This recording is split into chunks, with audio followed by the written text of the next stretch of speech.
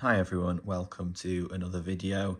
This one is a little bit different to what I usually do, more focused on templates and accessories for the Remarkable.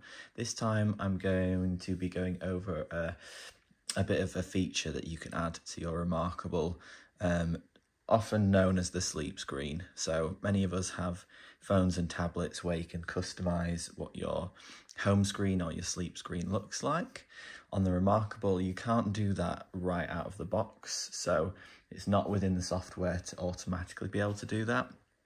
I have reached out to the Remarkable team and they do sort of say that it's something they're looking to do in future, but right now you can't do it, but there is quite an easy way to do it should you want. So as of an overview of the video, I'm going to be going over how you do that, um, what tools you need to be able to do that, and any important bits of information uh, you need to be aware of when doing this. So let's open up my cover. Now it might look a bit deceiving there as if I've already unlocked my Remarkable, however I haven't. This is a sleep screen as you can see here. This is one I've designed myself. I have designed a series of these which are available in the link below if you want to take a look. Um, I've just produced a series of high quality images um, tailored specifically to the screen of Remarkable. However, you can create these yourself um, should you want to invest the time to do so. But if you want to have a look at my selection, you can do. So I'll just prove it that this is not a PDF or anything like that. This is my lock screen. So I press the on button. Um, there you go. It's asking me to enter my passcode, which I'll just do that now.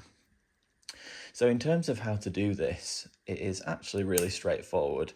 But as I mentioned, it can't just be done on the Remarkable itself by um, just fiddling with the settings. What you need to do is download a third party app.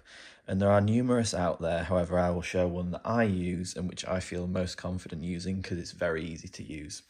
As I'm using my phone to film this, I have downloaded um, images in order to walk through this with you all. So this app is called Notable Utility. I'll add the name of it in the description and I'll see if I can add a link in there as well. I am not the developer. I do not know the developer who is this individual, um, but it's one that I've used and I trust and a lot of other people I've spoke to have used this. Again, with any third-party app, I'd encourage you to just read through the details um, of it just before going ahead and downloading that. It's available on iOS and Android, and it's absolutely free. So you can just go ahead, download it onto your phone, which I did. Then once it's on your phone, I don't believe you even have to create an account or log in or anything like that. I don't recall having to do that. And this is what screen you are welcomed with. So there's a couple of main aspects you need to be aware of. Um, it is setting up the connection to your Remarkable, number one, and number two is then selecting your sleep screen. So what you first want to do is click on connect. And once you click on connect, see if I've got a screenshot of this bit here, it's going to ask you for some details. And I've just blanked a couple of mine out, but all you need is your IP address, the username, which is provided, and the password, which is provided. And actually, to be honest, the, the IP address is provided. You can find all these on your Remarkable. This is not something you have to uh, be technically savvy to do. You just need to know where to find it. And I'm going to show you that right now, step by step. So you go onto menu, you go into settings, you go into help, and then about. And when I click on copyright and licenses, it's going to show me all those details. Because some of them are potentially a little bit sensitive, I'm just going to cover up that portion of my screen as I click that now. So they will appear in this bottom corner of the screen. So you'll be able to see yours there, your IP address, your username and your password. And all you need to do is plug those details into your into the app and that helps it find your remarkable device. And once you've done that, um, I never actually went into this section, by the way, until I was doing this. But if you want to, you can read all the copyright notices and software licenses if you're really into the, the technical side of things, which most people don't really care about. Um, so once we're in there, we can go back into my screenshots here to show you. Once you've inputted those three details, just a quick note from my experience, when I pressed test connection, it didn't work at first. And so I thought it wasn't going to work for me, but I went ahead and went straight to the section which says screens and tried to upload and it worked. So if you press test connection and it, you get an error message, then I'd just give it a try anyway. That was just my experience. But once you are successfully connected, all you need to do is make sure your Remarkable is unlocked. You click on choose image from your phone and you can select any image from your phone. To be honest, you, you might not need a, a fancy sleep screen. It might just be a picture of your family or your pet dog or something like that. You can go ahead, uh, choose the image and it'll take you to a screen where you can pick your image and it'll give you a sample here. So this is another one of my sleep screens which I've created. And then once you see the preview, you just click save to device. And at that point, you are done. All you need to do, you don't even need to do anything else on the app. You can close the app at this point and then you just lock your Remarkable and you will see your new sleep screen.